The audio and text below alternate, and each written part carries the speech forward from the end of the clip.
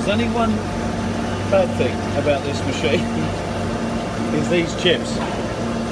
When you when you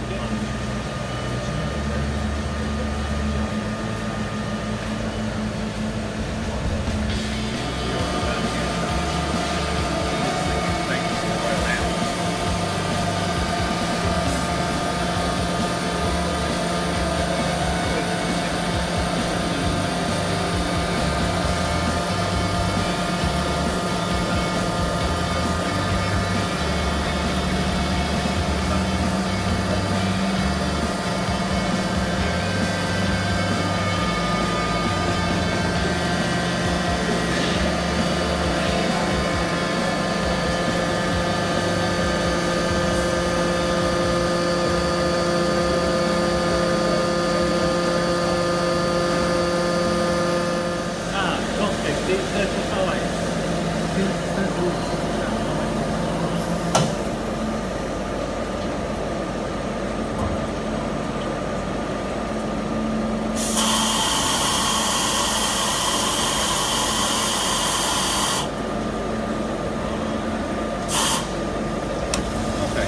stopped the process. We left the one end, we, we took it out of the focus.